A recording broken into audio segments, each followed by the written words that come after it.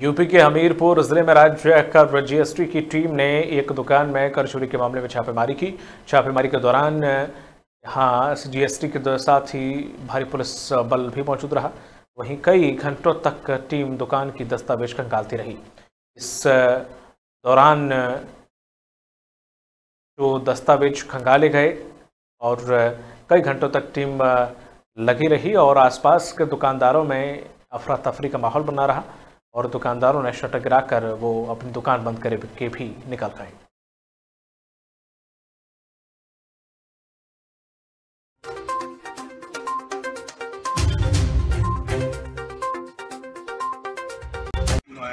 साहब अपने निर्देश के अनुसार इसमें मुझे कार्रवाई करने का निर्देश दिया गया था।